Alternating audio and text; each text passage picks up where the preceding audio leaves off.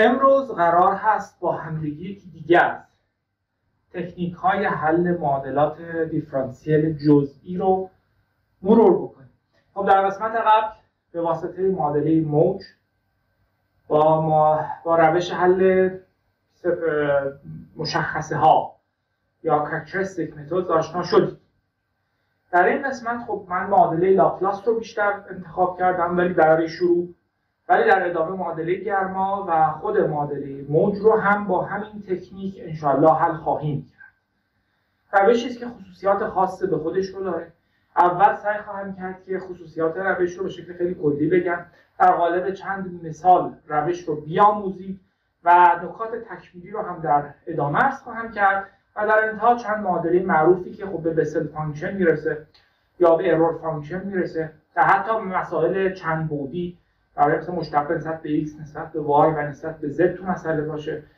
و مختصات قطبی ها اینها رو انشاءالله با هم دیگه مرور خواهیم کرد. خب و تیترمون رو می‌زنیم یک تکنیک حلی به نام separation of variables یا جداسازی متغیرها. تفاوتی که با روش مشخصه ها داره همونجور که در همون موقع هم عرض کردم در این است که در روش separation of variables ما جواب عمومی به دست نمیاریم برخلاف روش مشخصه ها که اول یه general solution به دست آوردیم و بعد با توجه به شروط مرزی particular solution رو استخراج کردیم در اینجا مستقیما جواب particular solution رو به دست خواهیم آورد چنین روندی که شبیهش رو در معادلات ODE هم داشتید دیگه وجود نداره باز برعکس روش مشخصه ها که اول از بینهایت آغاز کردیم و فرض کردیم دامین من یک دامین بینهایت باشد و بعد برای دامین های محدود هم روش حل رو عرض کردم در اینجا برعکس عمل خواهیم کرد. یعنی ابتدا برای دامین های محدود مسئله رو حل خواهیم کرد و سپس به کمک انتگرال فوریه مسائل برای دامین های نیمه بینهایت یا کاملا بینهایت هم توسعه خواهیم داد. من برای مرور معادلات معروفی که وجود دارن یه کوچولو آوردم. در سه قسمت اول این سری ویدیوها مورد خیلی صحبت کردم. ولی یکیش معادله موج یک بعدی است که یو تی به علاوه منهای یو ایکس مساوی اف یک non homogeneous هم نوشتم و معادله موج مرتبه دو که یو تی تی منهای دو یو ایکس ایکس مساوی به تابعی باز اف دو مثلا اف تابعی از ایکس و وای هست. که این معادله مرتبه یک رو حتی در حالت شبه خطی و غیر خطی با هم دیگه مرور کردیم. این معادله دوم به کمک روش مشخصه حل کردیم و در این فصل انشاءالله با روش جدایش متغیرها هم حل خواهیم کرد. این بر فرض کنید به جایی که مشتق دوم مجهول نسبت به زمان و مشتق دوم نسبت به مکان در ارتباط باشه این دفعه مشتق اولش یعنی یکی از این تی رو اینجا پاک کنید یه تی تی که اینجا می‌بینید یکی از این تی که اینجا توی مشتق وجود داره رو حذف کنید معادلی که به دست خواهد اومد در جنس parabolic خواهد بود و معادله گرما معروف. که یو تی مساوی ضریبی است. یو ایکس ایکس وای وای زد سه بعدی من نوشتم حالا برای مثلا. به علاوه تابعی مثلا اگه این مدل گرما باشه خب این جمله زمانی است. تغییرات دما با زمان این source حرارته. یک جایی وقتی حرارت داده میشه به مسئله این اف وارد مسئله میشه. و اینم اپراتور لاپلاسیان هست. و البته حالا فرض کنید که این جمله زمانی صفره. یعنی انقدر به این زمان دادیم گذشته گذشته گذشته. تغییرات زمانی در مسئله از بین رفته و جواب استدی استیت نهایی به دست آمده است. در یوتی اگر از بازی هست بشه فقط این جمله مساوی تابعی. مثلا F4 مثلا نوشته اپراتور لاپلاسیان مساوی مقداری خواهد بود که به این میگیم حل steady state یا بدون توجه به زمان که در اینجا خب اگه این زمان هست کنم این من در اتفاقا اگر که چهار هم صفر باشه در اون صورت معادله که به دست خواهد اومد معادله لاپلاس هست. لاپلاسیان یو مساوی صفر. این بالای معادله پواسونه که لاپلاسیان یه چیزی مساوی تابعی باشه. این معادله پواسون این معادله لاپلاس این معادله گرما و اینها هم که معادله موج مرتبه یک مرتبه دو و معادله برگر رو هم ما در نوع اول فقط بندی کردیم با این توضیحاتی که عرض کردم انشالله مسئله رو حل خواهیم کرد و فعلا از معادله لاپلاس شروع خواهیم کرد که ساده ترین case ه و برای سایر موارد هم در ادامه اشاراتی خواهم کرد. همونجوری عرض کردم هم Cartesian با هم حل خواهیم کرد. ابتدا از Cartesian آغاز می‌کنیم و در ادامه به polar coordinate هم می‌تونیم بریم و البته spherical coordinate نکته ارز کنم این در مباحثی که در اینجا حالا تحت عنوان درس ریاضی مهندسی یا هر عنوان دیگه شما الان دارید میآموزید. اینها شکل پیشرفته ترش در دوره کارشناسی ارشد هم وجود داره که معروف هست. خب طبیعتا به درس ریاضیات پیشرفته. و حالا ریاضیات پیشرفته یک ریاضیات پیشرفته دو اینا مطالبی است که همچنان ادامه داره دیگه داستان. و نکته بعد این هستش یک درس سه واحدی در دوره کارشناسی ارشد رشته مهندسی مکانیک گرایش حرارت و سیالات وجود داره به نام انتقال حرارت کانداکشن. کانداکشن یعنی انتقال حرارت در جسم جامد جسمی که حرکت مثل هوا و مایع نه نباشه. حرکت نداشته باشه. که معادله حاکم برش همین معادله گرمایی است که اینجا ملاحظه در اون درس سه واحدی کلا از اول تا آخر همین معادله نیم و جدی که در حالتهای متنوع و با روش های حل متنوع حل خواهند کرد. کتاب های بوک هم هست. در نتیجه اگر دنبال تکنیک حل اینجوری معادلاتی هستید چه از نوع تابع زمانش و چه از نوع عدم غیر تابع زمانش یعنی state ش که معادله پواسون و معادله لاپلاس هست. این مجموعه رو در اونجا به وفور راجبش بحث میشه تکنیک های به خاطر همین هستش که دوستانی که رشته مهندسی مکانیک هستن و گرایش تبدیل انرژی به شکل خاص خیلی تو حل معادلات PDE مسلط هستن. مثلا درسی دارن که فقط همین معادلات رو داره حل حالا در درس CFT هم که حل اینها به شکل غیر خطی آموزش داده میشه و چون جمله حرکت وارد بازی میشه توده سیار حرکت جمله غیر خطی وارد میشه اون باید CFT حل بشه و به باز هم. مطالبی که بحث خواهیم کرد حل‌های دو بعدی و سه بعدی است. بعد منظورم زمان نیست. زمان رو ما جزء بعد حساب نمی‌کنیم هرچند که در تئوری نسبیت بعد به عنوان زمان به عنوان بعد چهارم از نوع موهومی یک پارامتر موهومی لحاظ شده. مثلا معادله شوردینگر نگاه کنید کوانتوم مکانیک اون فضاها رو ما کاری بهش نداریم. در مورد مباحث کلاسیک داریم صحبت می‌کنیم. که و حالا این وقتی میگم مثلا این رو اگه نگاه کنید شما وقتی چون دیدون زمان دارم از دیدگاه ریاضی فرقی نمی‌کنه برای ما این زمان مکان بود در مرتبه که چیکاری نداره یه دونه کمیت پارامتر ریاضی است. من اگر مثلا رو در معادله گرما یک بعدی حل کنم در واقع این دوتا هست میشه. یه دونه تی میمونه یه دونه ایکس میمونه. پس همچنان مسئله من partial differential equation اما اگر در مسئله لاپلاس یا پواسون معادله لاپلاس من یک بعدی حل کنم چون زمان ندارم توی این مسئله روش معادله من دیگه PDE نخواهد. به خاطر در معادله لاپلاس یا پواسون ما دیگه دو بعدی حل می‌کنیم مثلا. یو ایکس ایکس و یو وای وای مشابه هم چیزی که در ادامه با هم دیگه مرور خواهیم کرد. اما در معادله گرما چون زمان دارم یک بعدی هم اگر بخوام حل بکنم باز یک PDE باید حل بکنم. و در معادله موج هم به همین چون بالاخره من زمان دارم تو مسئله اگه یک بعدی هم حل بکنم باز یک معادله PDE روبروی من هست. خب و البته هم homogeneous می‌تونه باشه هم non homogeneous اصطلاحا به این افایی که اینجا می‌بینید من نوشتم بهش source term هم گفته میشه. حالا می‌تونه اگر بحث ارتعاش یک تار باشه سورس ترم هم به معنای نیروه. یادتون بیاد اون میدان مغناطیسی که عرض کردم که حساسه و این شروع می‌کنه به حرکت اما اگر از نوع معادله گرما باشه خب این نماینده سورس ترم حرارته. یعنی در یک جایی یک حرارتی داره تزریق میشه به داخل فضا. و من می‌خوام دمای نقاط مختلف رو به دست بیارم. مثلا فرض کنید که سیم سیم از توش جریان الکتریکی داره رد میشه. استوانه ای هم هست دیگه. و این به واسطه مقاومت الکتریکی که داره و پدیده Joule heating گرمایش انجام میشه. در داخلش به شکل حجمی همه جاش. من دمای نقاط مختلف داخل این سیم چقدره؟ شما باید این جمله رو حتما لحاظ بکنید RI دوی معروفی که در Joule heating داشتید اون جمله وارد میشه که نکته بعدی هم می‌کنیم مطالبی که اینجا شما می‌بینید و در درس انتقال حرارت مکانیک سیالات پیشرفته مکانیک سیالات پایه در دروس دیگر این تیپی خب این معادلات اونجا derive میشه. من اینجا الان به, به این معادلات به چشم معادلات مهندسی یا فیزیکی نگاه نمی‌کنم. ولی در حقیقت اینها از یک background مهندسی و فیزیکی اومدن. اینجور نبود من همینجور اینا رو دقت بنویسم.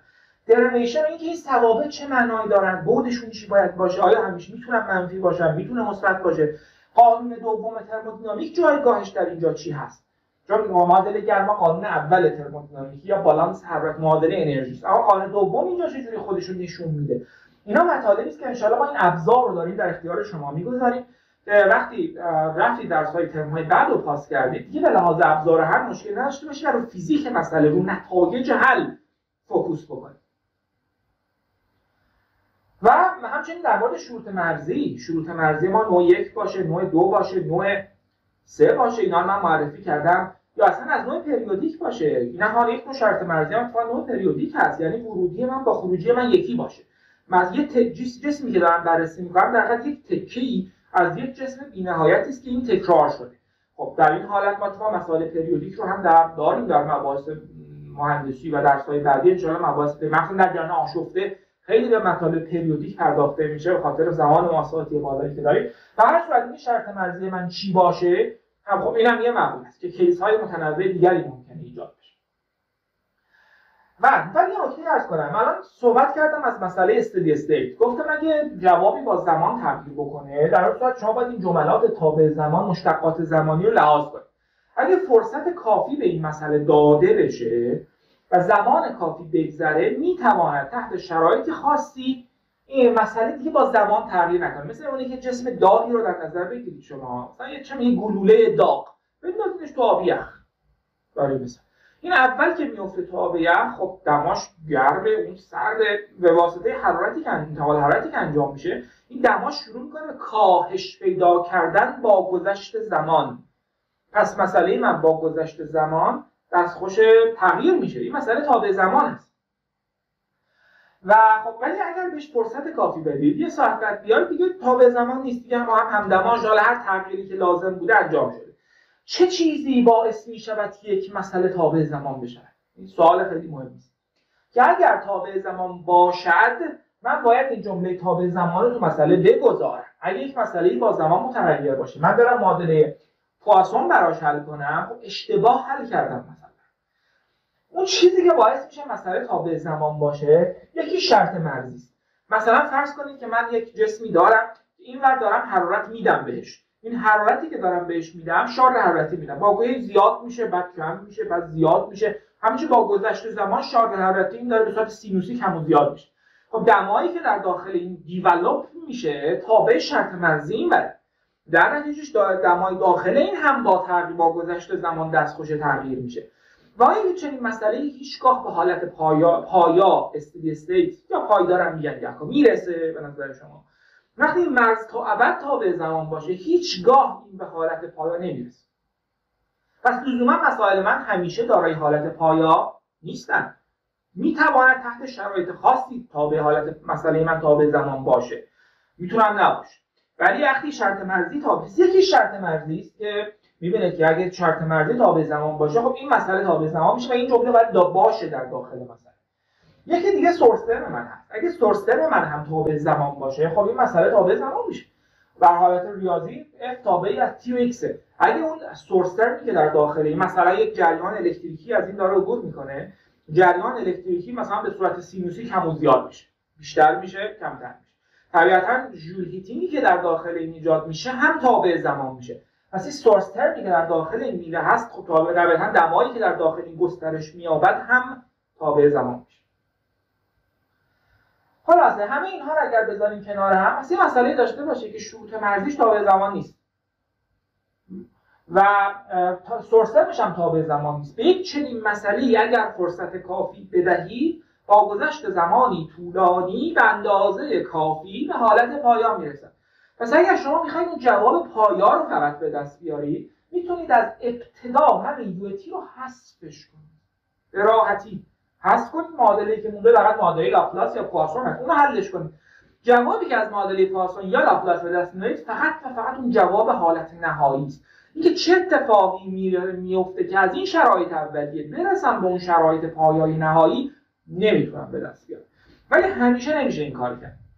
منتها باید شروط مرزی من و اون source term ی که تو مسئله هست اینا تابع زمان نباشن. که اگر باشن هیچگاه شما به یه حالت پایایی نهایی نمی‌رسید. هیچگاه نمی‌رسید. همیشه مسئله تابع زمان خواهید بود که بیشتر از این اجازه دیگه واگذار کنیم به دروس پیشرفته تر و ترم های بالاتر که فقط من می‌خوام بدونید چون بعضی وقتا گفته میشه این معادله جواب مستقل از زمان آن را بیارید اینکه چه زمانی رو میشه؟ اینو فقط باید حذفش کنید معادله رو حلش کنید. یا گهگاه ممکنه اینو حلش بکنید. و بعد فرصت کافی بهش بدید که این در تیر رو به سمت بینایت میده جواب آخری رو به بیاره حالا ممکنه بگید عقل من پاره سنگ برداشته. بیام اینو اینجا حفظ کنم و حل کنم بعد تی رو به سمت بینایت بدم از سر از بین بره. حتی یه قدم فراتر. ممکنه شما یک معادله داشته باشید که جمله زمانی توش نیست. معادله لاپلاس حل کنید. حل کنید. ما می‌گوییم به شکل مصنوعی خودتون جمله زمانی رو اضافه کنید حلش بکنید و تی رو به سمت بینایت بدید که اثرات این مشتق زمانی از بین بره. وقتی زمان پارامتر رو با زمان تغییر نکنه مشتق صفر میشه انگار نیست تو مثلا بعد شما میگید دیگه بدتر. مگه عقل شما دیوانه شدی مگه؟ این کاری که من می‌کنم توی CFD انجام میدم و اونجا خواهید که حل معادلاتی مثل لاپلاس که الیپتیک هستن به لحاظ محاسباتی دشوارتر اتفاقا. اینجا من میگم حل تحلیلی این سختتر از پایینیه چون بالاخره این تی داره x y z داره 4 تا میشه. ولی پایینی تی نداره 3 تا میشه حالت سه بود. ولی در حالت CFD در حل های عددی ما اتفاقا میگیم حل این سختتر از اینه. یعنی میایم خودمون مصنوعی اینجوری t می‌ذاریم مسئله رو تابع زمان حل می‌کنیم و بعد t رو به سمت بی‌نهایت میدیم قبلی رو میریزیم آشغال اون آخریه رو نگه میداریم. اون رو به عنوان جواب present می‌کنیم. این توضیحات یادم رو بذارید کنار کم دید فیزیکی هم داشته باشید. بد نیست. خلاص.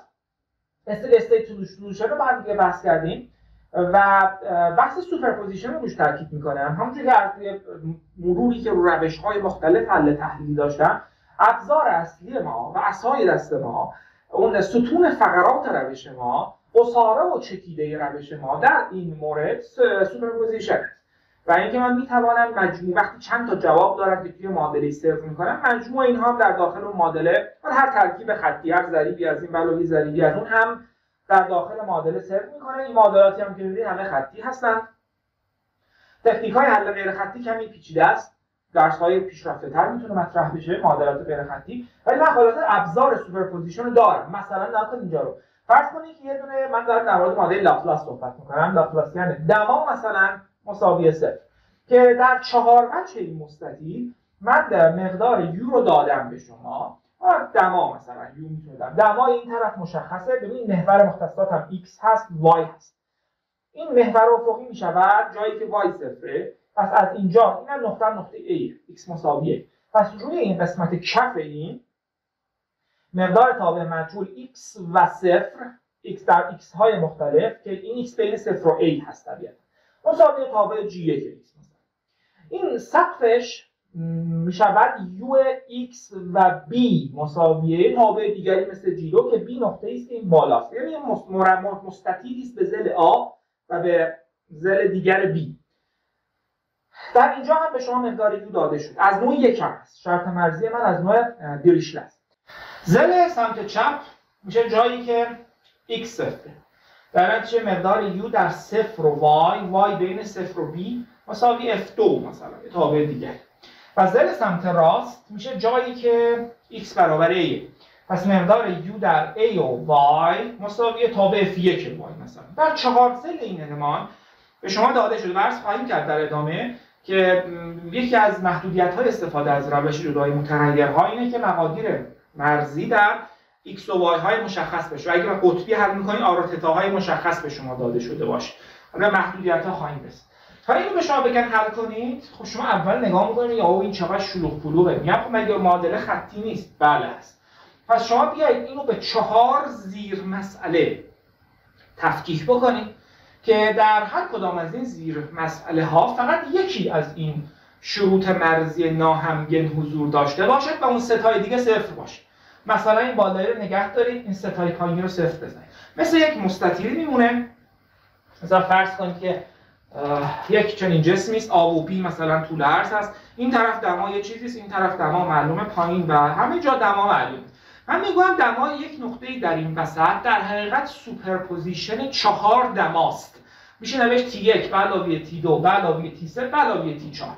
که این T یک و T دو T سه T چهار از مجموع حلهای چهار مسئله به وجود آمدن که این در هر کدام از اینها سه تاش صفر یکیش فقط مونده. و مثلا اگه بالاش مشخص بقیه صفر یه دمای اینجا القا میشه. اگه این طرف صفر باشه اون بقیه جا این طرف صفر نباشه. بقیه جا صفر باشه یه دمای دیگه ای در اونجا القا میشه. و همیشه چهار تا دما رو اگه با هم دیگه جمع بکنید می‌توانید دمای نقطه رو به دست بیارید. پس حل این مسئله منوط است به حل مسئله ای که سه زلش صفر باشه یکیش فقط صفر نباشه. حالا شما فقط باید چهار بار این مسئله رو تکرار کنید. مشکلی نداره انجام به این میگن superposition. که حالا خواهید دید که اصلا اصل و پایه و اساس سری که در ادامه عرض خواهم کرد بر اساس این superposition پایه‌ریزی شد و نکته بعدی که یه تیکش رو عرض کردم بقیه‌اش رو کامل خواهم گفت اینه که چه زمان هستن از روش separation of variables میشه استفاده کرد؟ محدودیت های روشی های برای هر حل هر معادله دیفرانسیل PDE میشه ازش استفاده کرد. خب پاسخ اینه که نه طبیعتا. یکیش تو محدودیت شما رو شرط مرزی است. اگه مثلا من اینجا دما رو یک خط مثلا وتر اینو رسم بکنی یک مثلث. به شما مقدار دما رو روی اون زل وتر می‌دادن. خب شما نمی‌تونستین حل کنید چون این زل شما متناظر با یک x مشخص یا یک y مشخص نیست. این مشکلی است که ما داریم. خب کاربردهایی که ما در مطالب وا در صنایع واقعی داریم خیلی وقتا مستطیلی شکله. یا دایروی شکل. دایروی باشه از اپراتور لاپلاسیان در مختصات قطبی باید استفاده کنید که من خواهم گفت به شما. بخاطر اینا شکل استانداردی هستن. مربع و مستطیل و دایره و کره و اینها. بخاطر همین چندان مشکل ایجاد نمیشه که اگر طبیعتا بخواید اون مسئله رو حل کنید یا به روش های دیگری مراجعه کنید یا عددی حل کنید یا اینکه اصلا خود معادله سپربل باشه. کمیت‌هاش قابل جدا کردن از هم باشه. ممکنه ذرایبی که چون ما بحث ما اینه که معادله خطی باشه. اگه شما این معادله رو حل می‌کنید خب تکلیفش روشنه. ضریبش مشخصه چی. اما اگر یک معادله در کلی حل می‌کنید که ذرایب اینا می‌تونه تابع x و t باشه یا حالا x و y و z باشه و خطی معادله ولی هر معادله‌ای که ذرایبش هر چیزی نمی‌تونه باشه. اون شما نمی‌تونید کمیت ها رو سپریت کنید. علت اینکه من اینو الان اینجا نمیگم بخاطر شما رو نمی‌شناسید چیه. اگه مثال حل کنم بعدش خودتون متوجه میشید که چرا و در ادامه محدودیت ها رو تاکید بیشتری خواهم کرد. خب بریم سراغ یک حل یک مسئله ساده و همین مسئله که اینجا می‌بینید. و الگوریتم حل رو در حقیقت شما باهاش آشنا بشید. اصولا روش جدایش متغیرها سه استپ داره سه مرحله داره سه بخش داره. یک جدا کردن متغیرها separation of variables یا factorization فاکتور گیری جدا کردن. چون وقتی فاکتور می‌گیریم مثلا از x2 به علاوه x وقتی از x فاکتور می‌گیریم میشه x در x علاوه x در دارید اینا از هم جدا می‌کنید.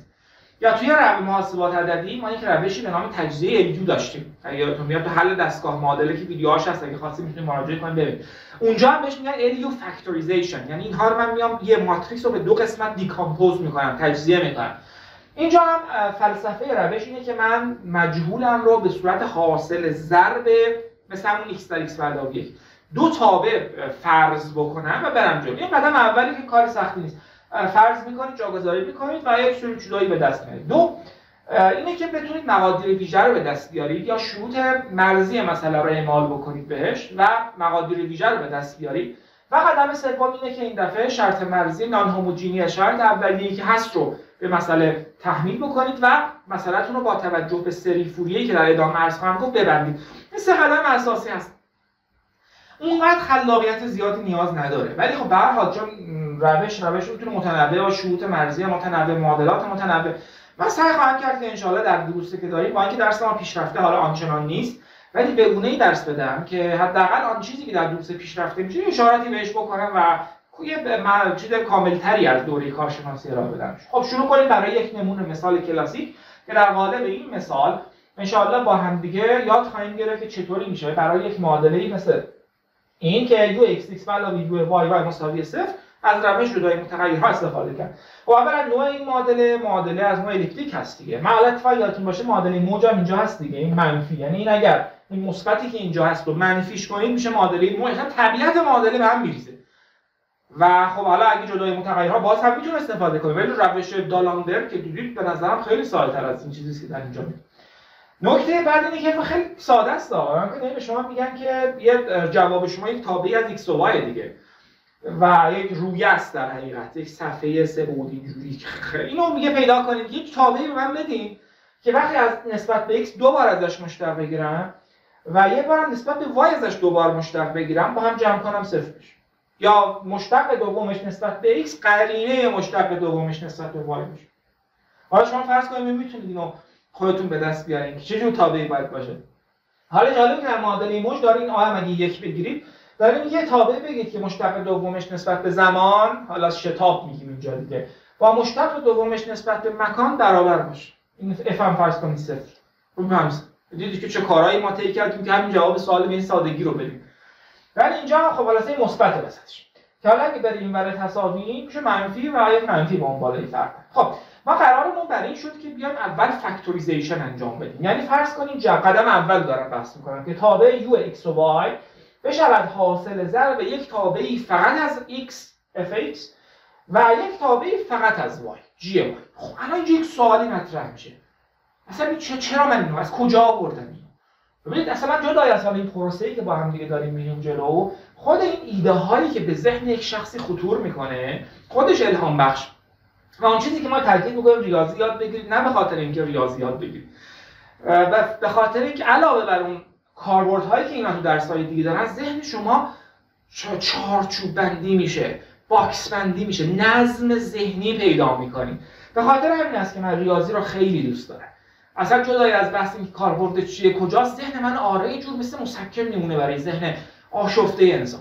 حالا از این خب ایده است که من می‌تونم بگم حالا ببینیم چی میشه. یعنی اصلا اینو بگیریم بریم جلو ببینیم به کجا می‌رسیم. آیا می‌تونیم اینو به سرمنزل مقصود برسونیم یا نه؟ و آیا همیشه میشه این کار کرد؟ نه. همونجور که عرض کردم بعد معادله من معادله من سپربل باشه و بتونم اینو به دو قسمت حتی بعضی معادلات خطی هم نمیشه این کار کرد. ولی نکتهش حالا ممکنه شما خیلی سخت نگیرید که بگید از کجا بدونم که معادلم را می‌توانم جدا کنم یا نمی‌توانم متغیرهاش رو. میگم خب جاگذاری کن ببین جدا میشه یا نمیشه دیگه یعنی پاسخ این سوال چیز اصلا پیچیده ای نیست ولی امتحان کنید فقط. و مثلا همین اصلا نمی‌دونیم میشه یا نمیشه. بذارید این فرض کردیم به صورت حاصل ضرب دو تابع یکی فقط از x تابعی از x. و دیگری فقط از اینو بذاریم ببینیم به کجا می‌رسیم. خب من اگر بذارم اینجا این تابع فی که در حقیقت می‌بینید خب در داخل معادله من u x x هست. یعنی از طرفین این معادله نسبت به رو بر مشترک میگه خب این که تابع y میشه f زگون زگون یعنی نسبت به x یا g زگون یعنی چون می‌دونم g تابع y و f تابع x دیگه زگون گذاشتم منظورم متوجه میشید نسبت به پارامتر مربوط به خودش هست. F زگون در g g مثل ثابت عمل می‌کنه. بعد خب دومی u y y. میشه بعد از این نسبت به y دوباره مشتق بگیرید میشه g زگون این دفعه. بعد آبی f g زگون مساوی صفر حالا طرفین رو به FG تقسیم کن اینجا اون جایی که گفتم خودتون امتحان کنید ببینید جدا میشه یا نمیشه. من طرفین اگه به FG تقسیم کنم خب این G ساده میشه و F میمونه تو مخرج. تو این یکی یه F اینجا داریم ساده میشه G میمونه زیر G زگان که ببرم اون برای تساوی میشه F زگان به F مساوی منفی G زگان به G. خب جدا شد دیگه. شبیه همون کاری که تو معادلات دیفرانسیل اودی هم انجام می‌دادید اگه یادتون بیاد. ما می‌گفتیم مثلا dy به dx مساوی یه چیزی این جدا پذیرن ولی اونجا y و x رو از هم جدا می‌کردیم. اینجا مجهولم رو به صورت حاصل ضرب دو چیز می نویسم و اون دو چیز رو باید از هم بتونم جدا کنم به گونه یک سمت تساوی فقط F و متعلقاتش باشد سمت دیگر فقط G و متعلقاتش باشد. نکته کلیدی بعدی اینجا اینه که حالا اومدیم این کار کرد که چی؟ نگاه می‌کنم. میگم این ور تساوی f و f, f تابع x است. F سوم هم طبیعتا تابع x رو دیگه مشتقشون این ور تساوی g تابع y طبیعتا g سوم هم تابع y. خب این ور تساوی یک تابعی دارم که فقط تابع x برابر شده با یک تابعی که فقط تابع y. این فقط ها همه کل قضیه تو این فقط نهفته است. چه تابعی است که هم فقط تابع x و هم فقط تابع y فقط ها رو دقت کنید تو مقدار ثابت تابع ثابت تابعی است که هم فقط تابع x هم فقط تابع y هم فقط تابع هم فقط تابع هر چیزی. در نتیجه من اینو می‌ذارم مساوی لامدا اینجا جایی که معادله PDE خودم رو تفکیک کردم decompose کردم separate کردم به دو معادله ODE و حالا کافی این دو تا معادله اودی رو حل کنم ولی اینجا یه مجهول جدید وارد بازی شد. سوال بعدی اینه که این لاندایی که من اینجا دارم چیه مقدارش لاندا رو چیکار بکنم حالا بماند که بهم می‌گوییم مقادیر ویژه. آیگن ولیو ها خواهیم گفت. و اینو باید حسابش کنیم خلاصه یک جوری. مسئله من هم این تا اینجا رفتی شرط مرزی نداره. دقت کنیم معادله رو من جاگذاری کردم تجزیهش کردم. اگه شرط مرزی عوض بشه دوباره همین به دست برای حالا شما برای معادله گرما می‌تونید امتحان کنید. برای معادله موج می‌تونید انجام بدید. این تفکیک رو. کار سختی نیست. ولی سوال شرط مرزی رو اگه نگاه کنیم دوباره یک مربعی هست که در سه زلش صفره همونجوری که قرارمون بر این شد که این مثلا به چهار زیر مسئله تقسیم کنیم من یک یعنی کیس اولی است که ما داریم با حل می‌کنیم. و هر سه, سل، مقدار خود تابع یو صفره. به میگن شرط مرزی دیریشله و در قسمت بالا دمای کتاب من g x نوشتم. تا بدون وسطش داغتر این ورش خنک‌تر بود. شانسی هم اینجوری چیزی کشیدم یه مستطیل در نظر بگیر بالاش مثلا دمای بالاش یه چنین چیزی است. بقیه جا صفر دما در این وسط پس از گذشته زمان چطوری میشه؟ چون برای جسم من از اول که این نبوده. یه دمایی داشته من این دمای سطح بالاشو به این رسوندم. خب این که زمان طول می‌کشه تا برسه به اون حالت پایا. من اون اومد به نظرم. شما می‌تونید حل‌های گتاب زمان رو هم به دست بیارید به شرطی که این جمله رو تو مسئله بذارید و خب مسئله مقدار پیچیده تر میشه به میگن کویتی توی مسائلی کفر است یه مستطیله. بستی جایی است که مستطیلی یا مثلثی شکل. حالا کویتی های مختلف داریم مثلثی داریم. خیلی مقاله میان دوستان چاپ می‌کنن تو اینا. بعضا یکم قدیمی شده دیگه نباید چاپ کنیم دیگه. ولی به هر صورت این سبزی که می‌بینید توضیح دمای قسمت بالا. این اگه من حل کنم این بالایی رو می‌تونم چهار بار از این حل کنم و به دست خب بریم سراغ حل مسئله. این خود مسئله بود. حالا دو تا معادله ODE به دست دو تا معادله من پایین نوشتم واسهتون. اول F رو به لامدا ضرب کنید. ببرید. اون بر میشه F سگوند x منهای لامدا. F x مساوی صفر. و این منفی هم که اینجا هست بیارید این ور تساوی میشه به جی هم به لامدا ضرب کنید. میشه جی سگوند وای به علاوه لامدا جی وای مساوی و دو تا معادله اودی داریم. باید حلشون بکنیم اینا. اجازه بدید ما فقط خود معادله رو نباید سپریت کنیم. بلکه شروط مرزیش هم باید همین بلایی که سر خود معادله آوردیم سر شرط مرزی هم بیاریم و مقدار یو رو در برابر بذاریم با f در g f x در g کنیم که من این کاری کردم. خب یک این, این مسئله رو داریم بحث می‌کنیم. u صفر و y مساوی شده است با صفر. u صفر و y یعنی در x های صفر. یعنی در این زل سمت چپ. مساوی صفر شده است. چون یو صفره پس حاصل ضرب f در g هم صفره. ولی x مساوی صفر. پس میشه f صفر در g y مساوی صفر. G y که یک تابع مخالف صفر چون y متغیره دیگه اصلا g تابع y. و طبیعتا این f صفر باید صفر باشه که این صفر بشه. چاره جزئی نداره. پس از این اولی نتیجه می‌گیرم. F صفر مساوی صفر.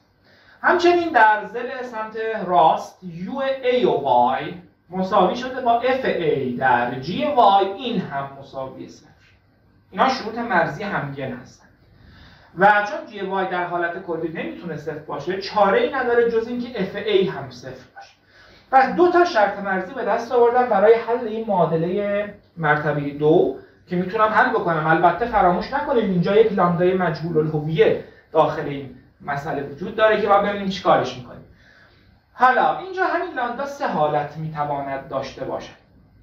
یا یک مقدار مثبتی باشد مثلا مساوی آلفا دو یا صفر باشد یا مساوی منفی آلفا دو. منفی باشه. برای اینکه منفی بودن نشون بدم منفی توان دو یه چیزی نوشتم که به قطع یقین علامتش وابسته به آلفا نشه. آلفا دو نوشتم.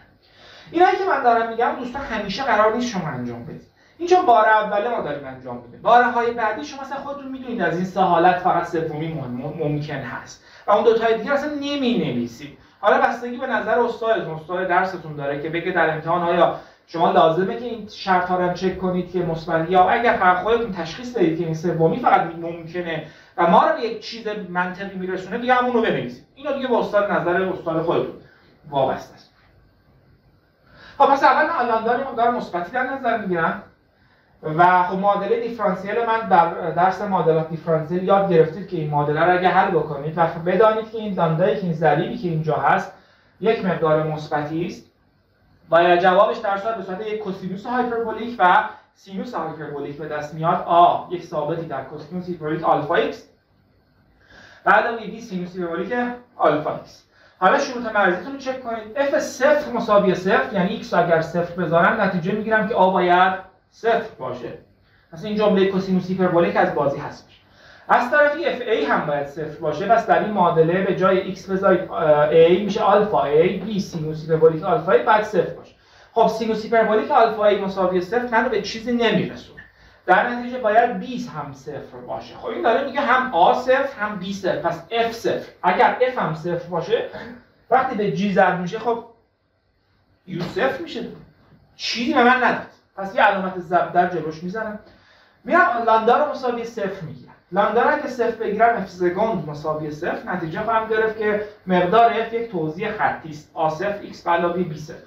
دوباره شروط مرزی که داشتیم ما جاگذاری بکنم. مجددا خواهید دید که هر جفت اینها برابر صفر به دست خواهند اومد. در نتیجه باز هم f مساوی صفر شد. به این میگن جواب به درد نخور. یه ضرب دیگه جلوش می‌خوره. ما ناامید نمیشیم یعنی من من به ایده ای دادم. گفتم بیام جواب به صورت حاصل ضرب دو چیز بنویسم. گذاشتم دیدم چه جالب این لامدا حالا نمی‌دونم فعلا لامدا هم مجهوله فعلا decompose کردم به دو تا معادله فعلا به اون اولی دارم کار می‌کنم. تا اینجا هم رسیدم به چیزی نرسیدم. خوشبختانه حل سوم منو ناامید نمی‌کنه. می‌ذارم لامدا مساوی منفی آلفا دو. یه منفی هم که اونجا داره. در نتیجه F x می‌دونید که جوابش به صورت کوسینوس و سینوس خواهد شد. A کوسینوس آلفا x بعد B سینوس آلفا x. خب میام شرط مرزی رو جاگذاری می‌کنم. صفر باید بشه صفر. در نتیجه این آ باید صفر باشه. که وقتی من صفر می‌ذارم این جمله که هست میشه یعنی این آ اصلا کاری جمله کوسینوسی من ندارم تو مثلا. جمله سینوسی رو حفظ می‌کنم. حالا سوال بعدی اینه که باید بی سینوس آلفا A مساوی صفر و خب بی که نمی‌تونه صفر باشه. اگه قرار باشه بی هم صفر باشه دوباره به همون سرنوشتی چهار میشیم که در قسمت قبل چهار شدیم. پس B رو یه چیز غیر صفر می‌ذارم. میگم پس سینوس آلفا a چه زمان صفره؟ که فکر می‌کنم اینم می‌تونم مقدار آلفا a رو جوری حساب بکنم که هم سینوس آلفا a صفر بشه و هم مقدار آلفا محاسبه بشه. یعنی یک تیر رو دو نشان دارم می‌زنم. هم دارم این معادله دیفرانسیل رو حل می‌کنم و هم مقدار لاندایی که برابر شد با منفی آلفا دو اگه آلفا رو تعیین کنم لاندا رو هم تعیین کردم. مقدار آلفا رو به گونه ای تعیین کنم که این صفر بشه. چی می‌خوام از این بهتر؟ پس میام می‌گویم آلفای چی باشه که سینوسش صفر باشه؟ خب میگید ضرایبی از عدد پی اگر باشه. پس آلفا a اگه بذارم k پی این مسئله من معادله دیفرانسیل سمت چپ ارضا شده است. و همزمان دو تا شرط مرزی سمت چپ و راست یا بهتر بگم این دوتایی که این پایین هست هم که برابر با صفر بودند هم ارضا شدند. و نیمه راه من رفتند مثلا تا نصفه راه بودن. پس آلفا a مساوی k پی نتیجه خواهم گرفت که آلفا برابر میشه با k پی a ام. حالا آلفا هم که خودش هست منفی لاندا میشه منفی آلفا دو. در نتیجه لامدای k چون تابعی از k میشه چون k شمارنده است دیگه. مثلا یک برابر پی دو برابر پی صفر برابر پی صفر یک متغیره. یه دونه نیست. بلکه آلفا می‌تونه بی نهایت مقدار داشته باشه و مقادیر real هم داره. حالا ممکن بود شما case ی حل کنید که مقادیر imaginary به دست بیاره؟ بله. حالا ما با اون کار نداریم که. حالا می‌گوییم که چیزی که در ادامه طبق قضیه اشتورم لیوویل اثبات خواهیم کرد که مقادیر ویژه مقادیر حقیقی هستن. مشابه هم چیزی که من در اینجا دارم. خلاصه k پی k متغیر صفر یک شمارنده است کانتر. و لاندا به عنوان تابعی از k همیشه منفی k پی a ام به توان دو. پس قسمت اول مسئله من حل شد. اگر همین مقدار لاندا k که به دست آوردم رو جاگذاری بکنم در داخل همین معادله‌ای که داشتم چون جواب مسئله من رسید به b سینوس آلفا x. A که صفر شد. B سینوس آلفا x الان چیزی است که باید صفر بشه. اگه این آلفا رو با توجه به چیزی که در اینجا k پی a ام به دست آوردم جاگذاری کنم در آن صورت مقدار f من میشه b سینوس که حالا B ش هم بذارید کنارم با b کار ندارم. سینوس آلفا x آلفا میشه k پی a ام که اینجا. به این سینوس k پی a ام x میگن eigenfunction. یا اگر بخوام از دید جبر خطی صحبت کنم eigenvector ها. ما یه eigenvalue داشتیم. اگر اینا رو نمی‌دونید من یک ویدیویی ضبط کردم در مورد نگاهی متفاوت مبانی جبر خطی. 45 درصد من از اون حتما نگاه بکنید که مفاهیم جبر خطی براتون ملموس‌تر بشه خلاصه اینا معادل eigenfunction هستن. چون function ما میگیم. ولی خب اگه بخوام یه analogy برقرار کنم با جبر خطی و با ماتریس ها اونجا می‌گفتیم مقادیر ویژه و مقادیر بردارهای ویژه. در صورت اینجا میگیم توابع ویژه. حالا ما eigenvector هم بهش می‌تونیم بگیم خلاص این چیزی است که اف که اینجا می‌بینید تابعی است که هم اولا صفر نیست مثل آن چیزی که این دو تا ضرب که اینجا تیک باید بزنم اولا که اف صفر نیست دوما که اگه من x رو صفر بذارم توش این شرط مرزی من رو ارضا می‌کنه. صفر میشه سینوس صفر. و اگر x رو a بذارم a باید ساده میشه کاپی. سینوس کاپی هم صفر به ازای هر کایی. و این شرط مرزی این برای منم ارضا می‌کنه. اینو داشته باشید تا الان نسبه مثلا ما حل حالا برم سراغ معادله دوم جی سکند وای علاوه لاندا جی خوشبختانه در اینجا دیگه مقدار لاندا مجهول نیست و لاندا با توجه به قسمت قبل مشخصه که چیه مقدارش. و من اتفاقا جیزگون قرار شد که لاندا رو بذاریم منفی آلفا دو. پس این لاندا منفی آلفا دو بذارید بیاد این بر تساوی میشه آلفا دو جی وای.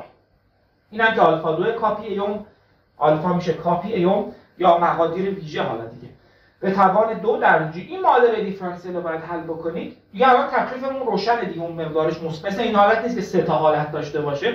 یه حالت بیشتر نداره و این لامدایی که می‌بینید یک مقدار منفی است در خب طبیعتا اگه اون مقدار منفی باشه شما از معادلات دیفرانسیل بلدید که جی وای به صورت توابع کوسینوس هایپربولیک و سینوس هایپربولیک آلفا وای به دست میاد. آلفا وای دقت کنید second ی که تو معادله هست نسبت وای گرفته شده دیگه.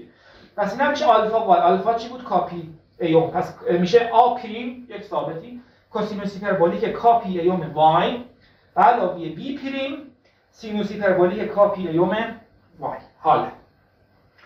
ما چی رو هنوز استفاده نکردیم توی این مسئله؟ این دو تا شرط مرزی بالا و پایین استفاده نکردیم. اجازه فعلا از پایین استفاده کنیم. خب من می‌دونم که مقدار پارامتر مجهول من در این پایین مقدارش صفره. پایین یعنی در y مساوی صفر.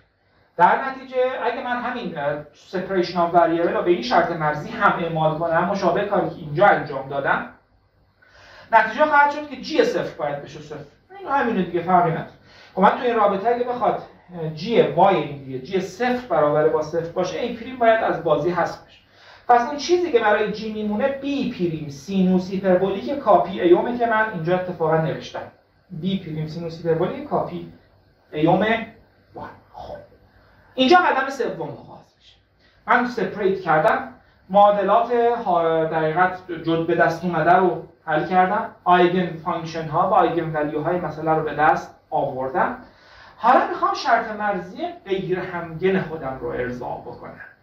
سوال اینه که این تابعی که من اینجا به عنوان جی وای به دست آوردم و اگه به fx زد بشه که fx رو هم اینجا به دست آورده بودم آیا وقتی من مقدار شرط مرزی بالا رو بهش اعمال می‌کنم مساوی gx میشه یا نمیشه؟ به نظر شما میشه؟ چه دلیلی داره بشه و تا کدوم gx من gx رو بدم سینوس x بدم e به توان x بدم تا اصلا Heaviside function بدم تا یه جایی مثلا یه چیزی باشه یه افتی کنه. و چی به تابع gx چی باشه؟ پس در حالت کلی حاصل ضرب این g که اینجا به دست آوردم و افی که اینجا به دست آوردم لزوما با gx برابر نمیشه. حالا ولی ما با ناامید نمیشیم همچنان میایم میگه پس یو ایکس و وای طبق اون decomposition ی که انجام دادن میشه بی کا سینوس هیپربولیک کا پی ایوم وای همین جی وای هم هست. و ضرب میشه به این eigenfunction هایی که دارم سینوس کا پی ایوم ایکس این جواب مسئله من. حالا میام شرط مرزی غیر همگن خودم رو اعمال می‌کنم. می‌گویم باید مقدار تابع یو در وای مساوی b برابر با gx بشه. U b و x یعنی در ارتفاع b و در x های مختلف تابع gx باشه. خب پس میگم در این رابطه که اینجا می‌بینید مقدار y رو در طرف این رابطه مساوی با b قرار میده. خب نگاه می‌کنم میشه بی کا سینوس هیپربولیک کا پی ایوم بی اینجا این دونه وای داشتم. این وای می‌کنم بی اون که اصلا توش وای نداره. میشه سینوس کا پی ایوم ایکس مساوی جی ایکس برداشت. الان تمام این زحماتی که من تا اینجا کشیدم وابسته است بتونم این تساوی رو برقرار بکنم. اگه این کار نکنم هدر رفته همین زحمت. ناامید نمیشیم همچنان. نگاه می‌کنم یه خب بی کا که ثابتی تابعی از کا حالا یک دوی ثابت. سینوس هیپربولیک کا پی ایوم بی هم که خب کا متغیر البته ولی به حال عدد دیگه یک دو سه integer. عدد integer number است. بی هم که ثابت هم پس کل اینو من می‌تونم به عنوان یک بی به عنوان تابعی از کا در نظر بگیرم ولی تنها چیز متغیری که اینجا دارم x داخل سینوسه. چون این تابع جی ایکس باید نگاه کنم ببینم سمت چپ x کجاست. تابع سینوس. میگم خب اگر جی ایکس تابع سینوس x باشه. خب در اون صورت من می‌تونم اینو هم پیدا کنم دیگه. سینوس x باشه مثلا کاپی ایون باید بشه یک و این ضریب بی کام بشه یک. این از بین بره سینوس x مساوی سینوس x قبول پس من می‌توانم کا رو فقط یه عدد بدم کافیه. نیاز نیست. خیلی یه دونه کا رو یه جوری بدم. این کاپی ایون بشه یک. یک برابر x بشه سینوس. مثلا سینوس 3 x اگه باشه اونجا. سینوس 3 x رو خب می‌تونم این ضریب بغلش رو یک بگیرم بشه سینوس 3 برابر x کا رو یه جوری بده. کا متغیر خوشبختانه. در اختیار منه. من می‌تونم کا رو یه عدد integer ی بدم. فقط باید integer باشه. چون اینجا آلفا این قرار باشه سینوسش صفر باشه. این حتما باید یک ضریبی از پی باشه. مثلا دو برابر پی سه برابر پی دیگه دو ممیز دو دهم پی دیگه سینوسش صفر نیست. مثلا سه خوب می‌ذارم یه جوری که این سه بشه سه ایکس مثلا. حالا اومدیم تابع سینوس سه باشه مثلا. تابع سینوس سه هم می‌تونید شما با توجه به روابط دبیرستان به سینوس ایکس تا سینوس سه ایکس تجزیه کنید. خب اون دفعه دو تا میشه از این. ولی خب این یه دونه است چیکارش کنم اینو؟ خب شما میگید این چون سینوس دو تاست خب شما یه بار اینو سینوس x رو بذار جای جی ایکس اینو یه جور تعیین کن که این سینوس x یه بارم سینوس 3 رو بذار دو تا جواب میشه. یا خب یه دونه است. میگید ایراد نداره معادله من خطیه. شما دو تا جواب به دست آوردی که هم در شروط مرزی ارضا کرده هم مساوی جی x رو تو معادله هم صدق می‌کنه. بعد جمع کن اینا رو با هم دیگه. میگم خب باشه قبول. حالا اومدیم سینوس نبود. ای به قوه x بود. چه می‌دونم x به توان 3 بود. که هر تابع دیگری به جز توابع مثلثاتی بود که بشه این کلکی که من زدم بود. اون موقع شما میگید خب بیاین همون کاری که کردیم رو تمرین بدیم. یعنی بیاین چند تا جواب به دست بیاریم که این جواب ها به شکل تک تک در داخل معادله صدق می‌کنند و این جواب ها رو با هم ترکیب بکنیم ادغام بکنیم به گونه ای که مساوی جی ایکس بشه. مثل کاری که تو سینوس انجام دادیم. میگم خب از اینجا به بعد دیگه اجازه بدید از نبوغ فوریه استفاده کنیم. فوریه کسی بود که 300 سال قبل. چقدر؟ اومد این کار کرد. گفت چطوری می‌توانم یک تابع دلخواه رو به اون به صورت یک مجموعه ضرایبی از توابع مثلثاتی مثل سینوس یا کوسینوس تو این case ی که ما داریم می‌نویسیم گیرمون سینوسه فعلا کوسینوس هم می‌تونه باشه. تو خواهید اگه شرط مرزی هم به جای نیومن به جای دیریشله نوع یک نوع دو باشه در اون صورت شما گیر کوسینوس میافتید. حالا کاری من به اون نداره اصلا اینو بذارید کنار کلا همه اینا رو. ببین من یک تابعی رو می‌خوام جی به صورت decompose کنم به صورت مجموعی از چندین تابع سینوسی بنویسم. چطوری می‌تونم این کارو بکنم؟ حالا فرض کنید مثلا من باز از نبوغ فوریه خبر ندارم. بذارید خودمون این داستان ادامه بدیم بریم جلو. اگر بتونم این کارو بکنم در حقیقت بیام در این رابطه ای که دارم یه دونه summation اینجا اضافه کنم. این summation یعنی superposition یعنی جوابم به صورت مجموعی از بی نهایت جواب هست که کا مساوی صفر تا بی نهایت می‌تونه باشه. حالا چون سریم سینوسی summation من از نوع سینوسیه و سینوس اگه من اینجا کا رو صفر بذارم این سینوس صفر میشه دیگه. این اینجا اگه من ایکس و کا رو صفر بذارم این داخل آرگومان سینوس صفر میشه. و چه وقتی سینوسیه دیگه ما عادت داریم از یک بنویسیم. حالا کوسینوس باشه ولی از صفر باید بنویسیم. چون کا مساوی صفر هم جزء حل هست دیگه. نه کا رو اگه صفر بذارم آلفایی میشه صفر و سینوس آلفایی صفر میشه. پس کا مساوی صفر نباید فراموش کنید ولی چون اون سینوس کاپی و مکس من اصلا نذاشتمش و طبیعتا میام جواب نهایی مثلا هم یه summation بذارم بغلش. باز هم کا مساوی یک تا بی نهایت و بگویم حالا این چیزی که من اینجا به دست آوردم این جوابی است که هم در معادله دیفرانسیل اصلی من صدق می کند هم شروط چپ و راست را ارضا می کند هم پایین را می کند و از همه مهمتر شرط مرزی بالا را ارضا می کند و در داخل این مسئله من مقادیر کا برام روشنه چیه؟ و ولیو ها هستن که حساب کردم چیه یا کام اینتیجر از صفر تا هرچند ولی یک سوال دیگه اینجا مطرح میشه. این بیه کا مقدارش چقدر سوال بعدی که اینجا وجود داره اینه که بی کا رو من چی باید بذارم اینم اگر پاسخ بدم بهش دیگه مثلا تمام شده است. خب نگاه می‌کنم اینجا میگم بیکا باید با توجه به این مسئله به دست بیاره. یعنی بیکا باید جوری باشه که این summation ی که اینجا می‌بینید مساوی جی ایکس باشه. حالا بیکا که دارم میگم در حقیقت این کل این سینوس هیپربولیک و چی و چی کل اینا اسمشو می‌تونید بذارید با هم بیکا مهم چون این تابع ایکس نیست. تابع ایکس نیست. این ثابت است حالا برش ولی توی این رابطه این بیکا رابطه داره با همین بیکای کوچولی قرمزی که من اینجا نوشتم. به هر صورت من باید بتوانم تابع جیکس و جی ایکس رو به صورت مجموعی از ضرایب سینوس ها بنویسم. به این سینوس ها میگن هارمونیک ها هارمونیک اول هارمونیک دوم. که مثلا کا رو صفر بذارم که صفر چی نمیده. کا رو یک بذارم میشه پیکس ایوم حالا بعضی وقتا این ای رو پی می‌ذارن مقدارشو. برای اینکه مسئله ساده بشه. یعنی فرض می‌کنن این دامنه از اینجا تا اینجا برابر با پی باشه.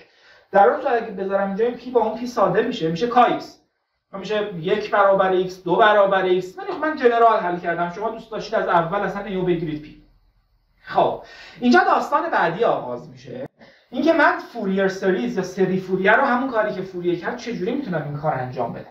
و یه مفهوم به نام orthogonality مطرح میشه. یه توابعی که بر هم عمودن شما چطوری ممکنه دو تا تابع به هم عمود باشن و این همون جایی است که ارتباط بین جبر خطی ماتریس ها vector ها و البته مطالبی که اینجا می‌بینید ایجاد میشه.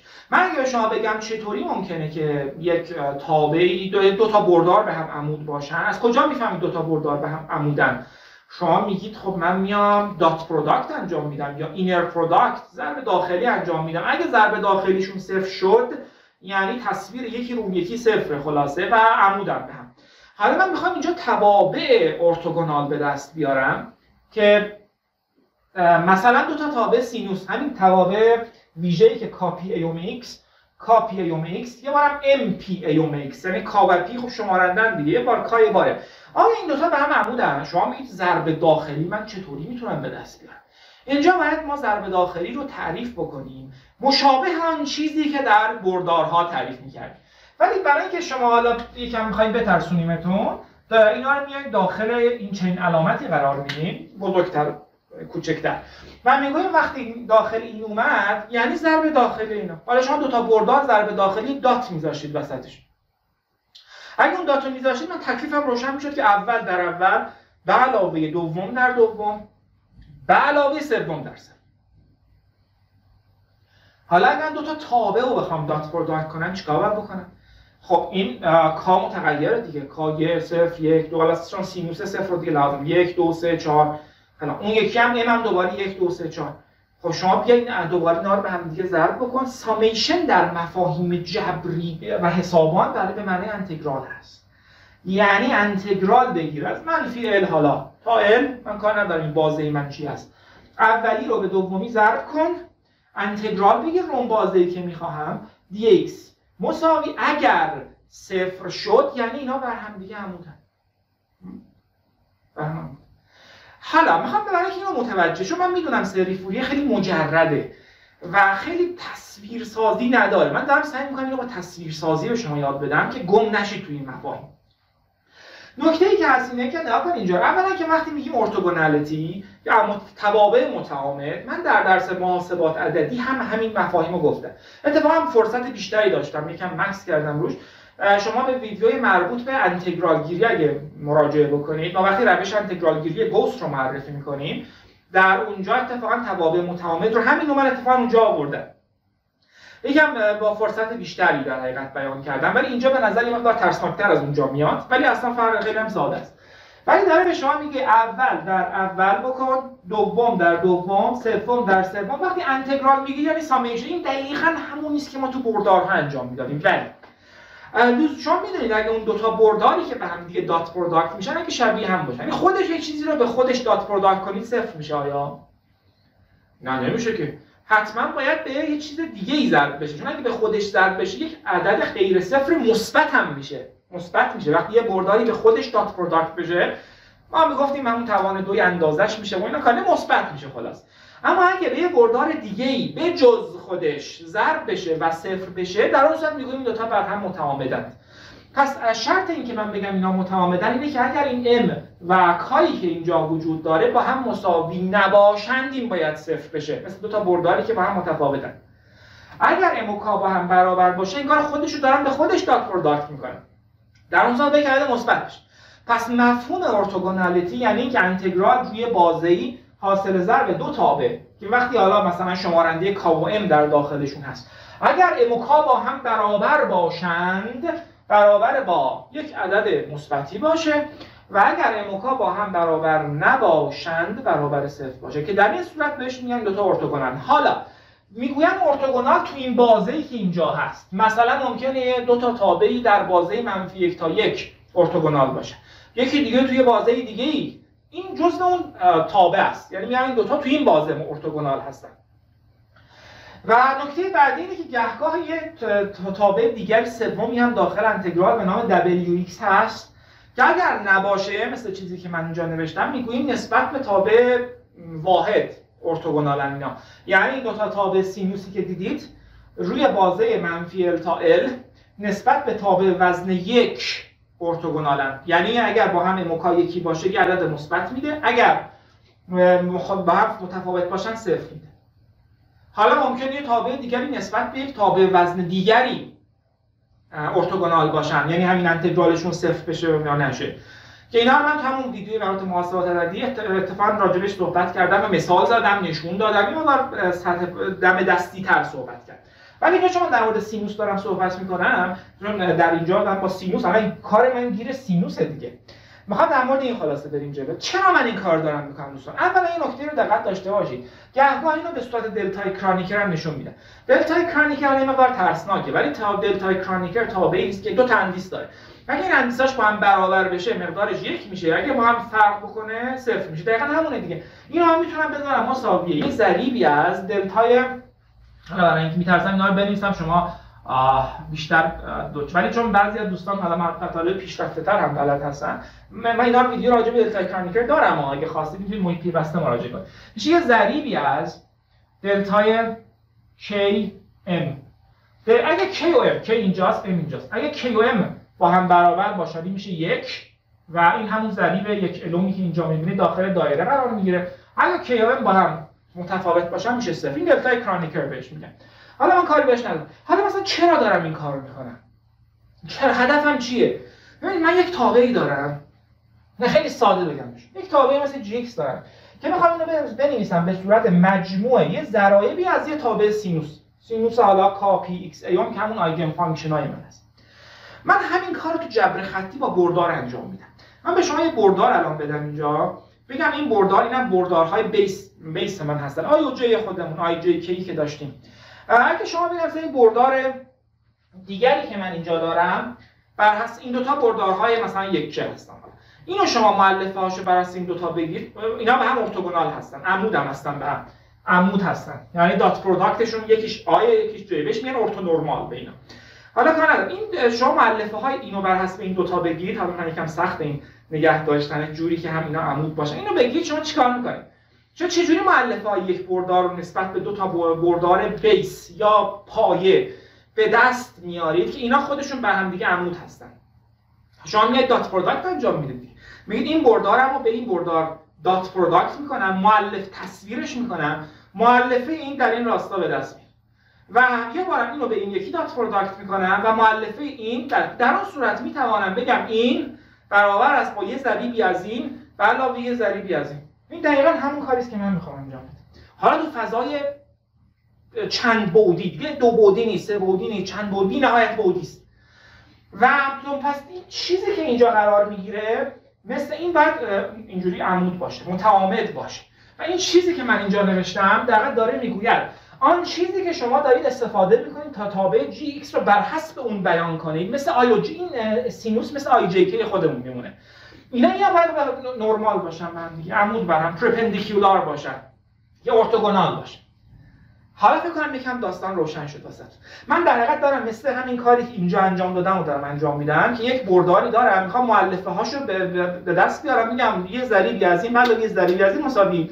فقط فرقش اینه که این تابع من دیگه بردار من به صورت یک تابع داده شده و اون بردارهای base ی هم که داشتم آی من به صورت تابع سینوس داده شد. که به هم دیگه عمودم هستن. دقیقا. اثبات خواهیم کرد که عمودن ها یعنی اینها رو اثبات خواهیم کرد که اولا مقادیر کا و امی که اینجا می‌بینید real اند قضیه لیوویل و همین که اینها به هم عمود هست دو تا سوال اینجا مطرح میشه.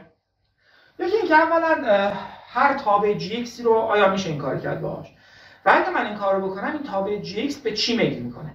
آیا اگه discontinuous باشه تا به جی چی در کاربردهای شاید این در مهندسی و اینها کمتر پیدا بشه چنین اتفاقی. ولی ما این تابع جی ایکس یک نقطه discontinuity داشت. چون می‌دونم یک بر ایکس من ها یک دوم بود مثلا. یک بر ایکس, ایکس یک دوم میفته این وسط دیگه مثلا اینجا اینجا. در صورت چی میشه؟ در دو سر بازه چی میشه؟ یکم تو اینا باید بحث کنیم. و سوال دوم هم اینه که آیا این سینوس هایی که می‌بینید اینجا متعامد هم هستن به هم دیگه و dot product شون صفر شد؟ و عمود برهم شدن آیا کافی هستن؟ به اینو میگن completeness و آیا اصلا این کا و ام real اند کی گفته؟ می‌تونه imaginary باشه. وقتی من این معادله رو حل می‌کنم جواب imaginary پیدا کنه. و اصلا از کجا معلوم سین در حالت کلی دارم. تو این مسئله خاص سینوس به دست اومد. دوستان حالت من همیشه نمی‌خوام این مسئله رو حل کنم. من مسائل دیگه ای دارم که ممکنه eigenfunction هاش این نشه توابع بسل بشه. و سه نقطه. ولی هر چی که هست آیا این چیزی که به دست میاد در حالت کلی بدون توجه به این مثال خاص که من اینجا به راحتی تونستم اثبات کنم که این مساوی صفر وقتی کا و ام با هم یکی نباشن. چون انتگرال بلدید دو تا سینوس وقتی به هم ضرب میشه سینوس دو تا چیز به هم ضرب میشه تبدیلش کنید به روابط مثلثاتی به جمع و اینا. انتگرال بگیرید به عنوان تمرین خوب می‌تونید نشون بدید که منفی ال تا ال سینوس کا پی ایکس ایوم سینوس ام پی ایکس ایوم مساوی چیه؟ و یه بارم متفاوت بذارید. خواهید میشه صفر. این سخت نیست. اما من باید یه مقدار general کنم قضیه رو. بگم هر تابعی که به دست بیاد در قالب این eigenfunction هایی که اینجا دارم اولا real خواهد بود کا و ام دومندش که نرمال و perpendicular خواهند بود orthogonal خواهند بود و البته complete هم خواهد بود. یعنی من با داشتن همه اینا می‌توانم اون پارامتر جی رو پیدا کنم. مثل این دیگه. مثل این که من به شما میگم این vector چقدره؟ این. اینو به شما. میگم اونو بر حسب این بیان کن. شما میگید این completeness completeness نداره. ناقص این complete ه من برای اینکه بتونید شما بگید بعد اینم بذارم اینجا. حالا شما می‌تونید این ذرایب بی رو به صورت یک به دست بیارید برای من. خب پس این اولی رو در اینجا عرض خواهم کرد که اینو میگن کانورجنس یعنی من اگه این کار رو بکنم خب با یک سری رو برو هستم. سری ها خب همگرایی دارن. و سوالی اینه که من اینو حلش کنم این به چی همگرا میشه؟ و سوال دوم رو انشالله در ادامه تحت عنوان قضیه شروم لیوویل با هم دیگه بحث خواهیم که حقیقی بودنش completeness قضیه و orthogonal بودن اینها رو در حالت کلی اثبات خواهیم کرد که تحت چه شرایطی این اتفاق یعنی معادله دیفرانسیل من باید چگونه باشه و شرط مرزیش چگونه باشه که من بتونم این کار انجام بدهم و به یک چنین چیزی برسم که جوابهای منطقی real بده و eigenfunction های تولید کنه که عمود باشن به هم دیگه و complete هم باشن کافی باشن. نیازی نباشه دیگه من مسئله دیگه ای حل کنم. فعلا به اینجا. حالا سوال اینه که من چجوری باید حل بکنم؟ تو من اینجا آوردم واسهتون که مقدار fx رو من در نهایت دادم به شما. حالا من اینجا gx اتفاقا نوشتم. فرق نمی‌کنه. تابعی مثل f. حالا در نهایت ما اینجا قراره که gx رو جابجایی کنیم. یک تابع fxی که از منفی l تا ال تعریف شده. در منفی ال تا ال تعریف شده. چیزی که من اینجا دارم از صفر تا ال. مشکل نداره. من می‌تونم اینو دیستریبیوشن کنم گسترشش بدم. مثل همون کاری که در معادله موج و حل دالامبر انجام می‌دادیم. به این میگن نیم دامنه. نصف دامنه است. ولی اینجا فعلا من دارم از منفی ال تا ال دارم بحث می‌کنم که به صورت piecewise continuous هست. یعنی پیوسته است. و همچنین مقدار اف پریم هم پیوسته است. کار بهش و می‌خوام این fx رو در حقیقت به صورت یک سری sx بنویسم که این sx من در حقیقت همین کاری است که من اینجا انجام میدم. ولی اینجا تابعم و فقط به صورت ضرایب سینوس نوشتم. یعنی فقط اینو دارم الان بی کی رو دارم. حالا این کلیتر دارم می‌نویسم. این چیزی که اینجا می‌بینید یه حالت خاص این بالایی است. خب میگم sx مساوی x a0 به علاوه سیگما k یک تا بی یه ضریبی از کوسینوس به علاوه ضریبی از سینوس. دوباره شما رو ارجاع میدم به همین داستانی که اینجا داشتیم که حالا کوسینوس ها هم وارد بازی شدن. یعنی یه ضریبی از سینوس A k علاوه یک ضریبی از کوسینوس میشه این تابعی که مد نظر من. این ای صفری هم که اینجاست نباید بترسونه شما رو. اون از کجا؟ هیچ چیزی نیست. من چون از کا مساوی یک نوشتم. اما چه گفتم کا مساوی صفر نباید فراموش کنید می‌تونستم این ای صفر رو پاک کنم اینو از صفر بذارم. چرا؟ چون این سینوس صفر که صفر می‌شد. و کوسینوس صفر هم صفر می‌شد ای صفر میمون. ای صفر رو جدا نوشتیم اینجا و اینو از یک تا بینهایت گذاشتیم. همین شده پیچیده. شما دوست داشتین اون از صفر کنید ولی در عوض اینو در حقیقت از اینجا پاکش بکنید. حالا این به چی می‌رسه؟ یعنی این چیزی که من دارم می نویسم اگر این بینهایت رو من اینجا لحاظ بکنم چون ما در واقعیت بینهایت نداریم. و خود همین بینهایت جایی است که شما رو گیر محاسبات عددی میندازه. یعنی شما اگه مسئله رو حل بکنید در نهایت جوابتون رو به صورت یک سامیشن به دست خواهید آورد که تا بینهایت سوال من رو چجوری باید حساب بکنم؟ مجبورید بشینید پای کامپیوتر. 20 تا جمله 30 تا جمله 40 تا جمله از این سامیشن رو بدید به کامپیوتر واسهتون حساب کنه و نتیجه رو رسم بکنه. اینجاست که می‌گویم روش من تحلیلی کامل نیست. بالاخره اونجا شما با کامپیوتر کد نوشتید. البته کد خیلی پیچیده نیست داره سامیشن دیگه و در مورد همگرایی سری ها در درس محاسبات عددی ان میشه ویدیوهایی ضبط کرد. بعضی سری ها اصلا خیلی دیر همگرا میشه. یعنی شما اینو باید تا 100 تا جمله هزار تا جمله جمع کنید. همگرا یعنی از یه جایی به بعد دیگه تاثیر نداره. شما 100 تا جمله رو حساب می‌کنید 101 کمی رو که اضافه می‌کنید 10 به قوه منفی 6 تا جواب ایجاد میشه. میگید کات دیگه بسه. من خطای من 10 به قوه منفی 6 تا 100 تا جمله. حالا ممکنه شما 200 تا حساب کنید خطا بشه 10 به قوه منفی 1 شما می‌خواید منفی 6 بشه. 200 تا بکنه 300 بازم بشه 10 به قوه منفی 2 خیلی کندم گرا بشه. اینجا هستش که زمان محاسباتی خوبی می‌خواید کامپیوتر خوب که بذارید 2000 3000 تا جمله حساب کنه تا شاید خطا خطای اختلاف بین اون جمله جدیدی که وارد میشه از در واقع منفی 6 کم حالا می‌گوید که این داستان من اگر هم گرا بشه converge می‌کنه به به fx یعنی همون چیزی که باید باشه. و این داره تضمین می‌کنه اگه من از این استفاده کنم مشکلی ندارم. و این پاسخ سوال اوله ها پاسخ سوال اولی که به چی هم گرا میشه؟ اگه x بین منفی تا ال باشه و تابع f من continuous باشه. پس این در این بازه منفی ال تا ال اگه تابع فی که دادم و گفتم اینو به این صورت بنویسید تابع پیوستگی باشه در بازه منفی ال تا ال به همون f می‌رسه بدون مشکل. خب؟ اگر که یه نقطه discontinuity تابع f داشته باشه اونجا می‌رسه به یک دوم fx منفی و fx مثبت. یعنی دو تا دو سمت discontinuity هر چی باشه جمع کنید تقسیم بر یک دوم بکنید. میشه مقدار میانگینش رو میده در به شما. و البته در دو سر بازه که x مساوی منفی ال و x مساوی مثبت ال هست هم دوباره میانگین یک دوم ال منفی و f ال مثبت به شما میده. و البته دقت کنید تابع پریودیکه. یعنی منفی ال تا ال دوره تناوب تابع من هست که در تابع تن دوره تناوب میشه دوئل دیگه. از منفی ال تا ال میشه دوئل و در سایر نقاط هم به شکل پریودیک داره تکرار میشه. به خاطر همین در نقاط اتصال این دوتا با هم مقدار میانگین رو داره میده. و FL منفی با FL مثبت رو داره میده. چون در جایی که این پریودیک تکرار میشه این دو سمت مقدارش در حقیقت با هم دیگه جمع کنید تقسیم بر دو کنید مقدار. این داره به شما میگه که این با چی روبرو هستی؟ خلاص این تابعی که اینجا داری و هنوز مشکل حل نشده. یعنی سوالی که این ای کا و بی کا چیه؟ این سوالی که من اینجا مطرح کردم هنوز پاسخش داده نشد مقادیرش چیه؟ ولی فهمیدم خلاصه اگه چنین چیزی بنویسم به جواب خواهم رسید. حالا سوال اینه که ای و بی این ای کا و بی کا چیه؟ خب بیام اینجا من تو همین سه اثبات این داستانم نوشتم. خب بیام از طرفین این رابطه ای که اینجا داده شده انتگرال می‌گیرم. خب fx مساوی اونه دیگه. این sx در حقیقت نماینده fx و من اینجا گفتم که این به fx می‌رسه. نه به جای sx بذارید fx از طرفین این رابطه نسبت به x انتگرال بگیرید. از منفی ال تا ال سمت چپ میشه fx dx مساوی با اون برای تساوی میشه a صفر. انتگرال a صفر ثابت مقدارش. از انتگرال خارج میشه. دو ال بهش ضرب میشه. میشه ای صفر در دو ال به علاوه صفر به علاوه صفر. این دو تای دیگر اگر شما حساب بکنید خواهید دید که انتگرالشون از منفی تا ال صفر میشه. سینوس دیگه. سینوس مثبت منفی دو تا قبه داره. اینا هم دیگر خونسا میان. کوسینوس هم به همین شکل. هم دیگر خونسا خواهد کرد. پس به راحتی فهمیدم که ای صفر برابر است با یک بر روی دو ال انتگرال منفی تا ال اف ایکس من حالا دفترم در روابطش رو به دست میارم در مورد اینکه اینا چه معنی دارن هم صحبت خواهم کرد چون نمی‌خوام اینا رو شما حفظ کنید می‌خوام اینا رو درک بکنید. بعد یه بار بیاید به طرفین این رابطه‌ای که کجاست؟ اینجا. یه بار به طرفینش کوسینوس ام پی الوم ایکس ضرب بکنید و بعد انتگرال بگیرید از منفی تا می‌تونید ای کی رو به دست بیارید. یک بار هم به طرفین این رابطه سینوس ام پی ایکس الوم دی ضرب بکنید و مجددا انتگرال اون یکی به دست این کلیت کار. حالا من این کار کردم fx کوسینوس پس به طرفین اگه این ضرب بکنیم fx دیگه. میشه fx کوسینوس mpx الام از منفی ال تا مساوی شده است با در انتگرال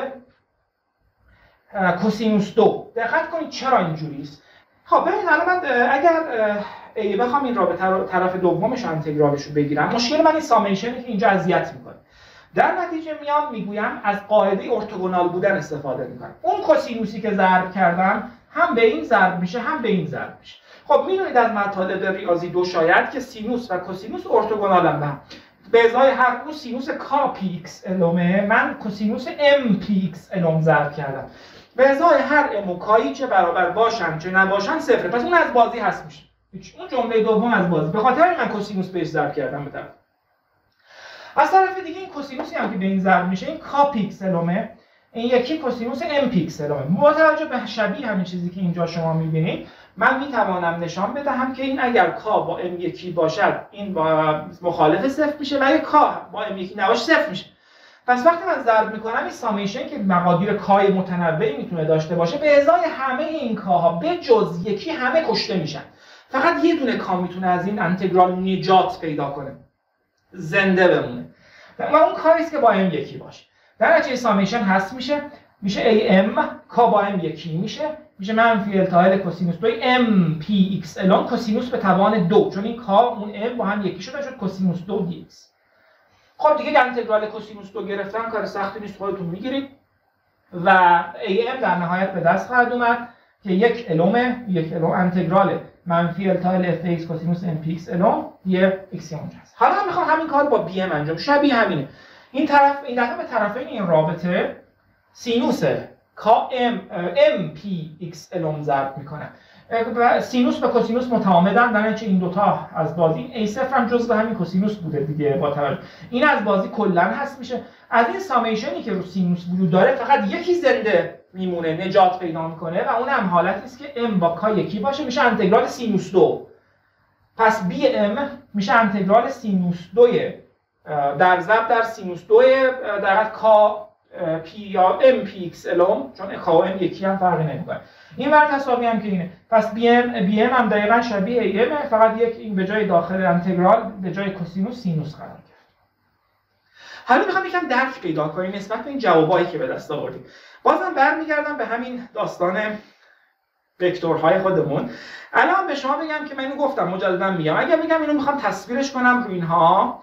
شما به من بگویید که مؤلفه این روی این راستا چیه؟ شما می‌خوام dot product انجام بده دیگه. مثلا اگر یه دو i به علاوه یه سه j بگم مؤلفش در راستای این چیه شما به i dot می‌کنید. اون j و i چون عمودن خنثا میشه این یکی به دست میاد. خب منم همینو گفتم دیگه. گفتم این ضرایب am چیه؟ شما می‌گوید تابع f را dot product بکن به کوسینوس کوسینوس یکی از این vector های base من هست. و دقیقا همون کار من اینجا انجام انتگرال قرار ما این قرار ما برای این شد که انتگرال یه تابعی در یه چیزی بشه dot product اون دوتا تابع. پس مقدار یکی از این ذرایع به من در حقیقت هست dot product این vector ی که من حالا به عنوان تابع gx می‌شناسم در یکی از اینها. مشابه همین bm هم همین رو داره به شما میگه که میشه dot product f x در سینوس. این دفعه اون یکی. اون یکی بردار یکی dot product تصویرش رو به دست بیار. استفاده خیلی بدیهی بود به نظر این x صفر رو دقت کنی یک بر دو انتگرال منفی l تا l f x dx چه معنایی میده؟ انتگرالی تابع به معنای چیه؟ و وقتی تقسیم بر طول بازه میشه یک دو l چون طول بازه منفی l تا l طولش میشه دو l یک بر دو l منفی l تا l f x dx نماندیم مقدار متوسط تابع است. پس تو این رابطه اگه دقت کنید a صفر مقدار متوسط هست. و این دوتا A و K و B K که می‌بینم به صورت AM و BM نوشتن. اینها در حقیقت ضرب داخلی بردار F در همین بردارهای یکی هستند که بردارهای بیسی هستند که طبق آن چیزی که من گفتم به دست می آید باز هم به لحاظ فیزیکی قابل درک دیگه شما دارید می‌گویید تابع fx مساوی یه چیزی به علاوه یه سری موارد دیگری. من میگم اصلا به فرض خودمون می‌خوایم این کار کنیم. یه تابعی دادم به شما اینجوری. چه می‌دونم تابع مثلا حالا به این شکل مثلا. میگم شما یه تابع مجموعه از بی نهایت سینوس و کوسینوس که به اینا میگن هارمونیکاش رو به این بنویس. شما میگید اول مقدار متوسط اینو پیدا کن اینجاست. پس من میگم این هست مقدار متوسطش به علاوه اضافاتش. این مابقی سینوس ها و کوسینوس ها در حقیقت اضافات تابع هستن نسبت به مقدار متوسطش. خیلی نظر بدیهی میومد دیگه. حالا این مقدار متوسط رو من کم و زیادش می‌کنم. مثل چه می‌دونم یه ماله کشیدنی. اول یه چیزی می‌ذارم بعد روش ماله می‌کشن که صاف بشه. یا یه مثل مجسمه تراشی که اول یک شمای کلی از هیکل اون بدنی که می‌خواد به تراشه در میاره بعد ریزه کاریاشو در میاره. این هم اونجوریست این کلیت قضیه است. یه ای صفری من دارم مقدار متوسط. حول و خوش این مقدار متوسط سینوس و کوسینوس رو بهش اضافه می‌کنم تا اون مقدار تابعی که می‌خوام به دست نکته بعدی اینه که خب تابع من می‌تونه زوج باشه یا می‌تونه فرد باشه. شما می‌دونید سینوس یک تابع فرد کوسینوس تابع زوج. حالا مثلا وقتی این انتگرال می‌گیرم این سینوس تابع فرد. اگر تابع fx هم یک تابع زوجی باشه این کلا یک تابع فردی میشه و انتگرال منفی l تا صفر میشه. پس اگر تابعی که شما دارید Fourier series ش رو به دست میارید یک تابع زوج باشه bm از بازی هست میشه. این جمله رو نخواهید داشت. فقط این دوتا رو خواهید داشت. به شکل معکوس اگه تابع فرد باشه چون کوسینوس هم یک تابع زوج هست نه انتگرال این دوتا یک تابع فرد خواهد شد و انتگرالش صفر خواهد شد. پس اگه تابع f(x) من تابع فرد باشه یک کی و a صفر هر جفته چون a صفر و هم جنس بودن دیگه از یک جنس بودن به خاطر همین هر جفتش صفر میشه. پس به شما به تابع زوج دارم این تابع فوریر سریزش سینوسی یا کوسینوسیه چون میگید زوجه پس bm ندارم خالص کوسینوسی است یا به شکل معکوس سینوسی است حالا ببینم تابع من اصلا بین منفی l تا l تعریف نشده. بین صفر تا l تعریف شده. این چیکارش کنم؟ این شبیه همون concept ی است که تو بحث روش مشخصه ها ما داشتیم. گفتم نداره. شما در نصفه دوم دارید مثل چیزی که من دارم مثلا این سبزه رو دارم. اون نصفه منفی A تا A دیگه الان طول این A. از منفی A تا A ندارم. بلکه این تابع GXی که به عنوان شرط مرزی بالا داده شده صرفا از صفر تا A تعریف شده. حالا من می‌خوام این انتگرال رو بگیرم نیازمند اینم از منفی ال تا ال بگیرم. این بازی منفی ال تا صفر من چیکارش کنم؟ اینجا ببینید یک ابهام الان شما دارید. من میگم گسترشش بدید. دقیقا توصیه می‌کنم حتما اول ویدیوهای مربوط روش مشخصه ها رو ببینید بعد اینا رو نگاه کنم. به دلیل نبود که اون اول درس دادم من میگم شما بین صفر تا a دارید این رو ندارید. چون انتگرال دیگه نمی‌تونید بگیرید چون از منفی a تا a باید بگیرید. من میگم این چیزی که اینجا دارید و گسترشش بدید به این طرف. شما میگید به شکل زوج این کارو بکنم یا به شکل فرد. میگم بستگی داره به این چیزی که اینجا دارید. شما تابع jx رو بر حسب سینوس می‌خواید. پس شما تابع Fourier سری فوریه سینوسی تابع gx رو می‌خواد در چه حالت شما تابعتون سینوسی خواهد شد؟ وقتی یک صفر بشه. این در این حالت وقتی تابع من از نوع odd باشه یا از نوع فرد باشه. پس این تابعی که اینجا دارید را به شکل فرد گسترش بده به نیمه دوم و نیمه اسپی که ندارید. در اون صورت مشکل شما حل خواهد شد و دقیقا به همین هم اون انتگرال رو می‌تونید بگیرید و همین که این g x شما به صورت تابع سینوسی تحویل داده خواهد شد. و من همین کاری کردم. میگن نیم دامنه. به این کاری که من می‌کنم میگن تابع سری فوریه سری فوریر سری نیم دامنه چون نصف دامنه است. اون نصفه دوم شما می‌تونید هر جور خاصی گسترش بدید. ولی چون نیاز شما سینوسی بوده و به شکل فرد گسترش بدید که ضرایب A صفر بشه و خالص بیکا به دست بیاد. حالا من میگم بیکا چی میشه؟ خب بیکا همینی بود که اینجا داشتیم دیگه. ولی فرق ما اینه که L و همون A در حقیقت در اینجا از منفی A تا A. من دقیقا از اینجا به بعد دیگه برگشتم دوباره به همین ابهامی که داشتم. الان با توضیحاتی که تو این تیکه بالا دادم این پاسخ سوال داده شده که این ضرایب بیکی باید چی باشن. خب نگاه می‌کنم به ضرایب این اینه دیگه به این صورت هست. چون من از منفی تا ال گرفتم و گسترشم به صورت فرد بوده و اون تابعی که در داخل هست زوجه پس میشه دو برابر از صفر تا ال. پس اینو می‌گویم برابر است با یک ایوم منفی ای تا ای جی ایکس. بیکا می شود یک ایوم از منفی ای تا ای جی ایکس سینوس کاپ ایکس ایوم دی ایکس این چیزی که ما داشتیم. حالا من چون به صورت فرد گسترش دادم و اینکه از منفی ای تا ای می‌تونم بنویسم از صفر تا ای یه دو بذارم بغلش دو برابر این پس در نهایت این بی که که به دست آوردم چیه؟ برابر است با دو ایوم ای زل, زل پایینی هست. این قسمت هست. انتگرال از صفر تا a g x سینوس k پی x a ام dx اون رو جاگذاری بکنید داخل این رابطه.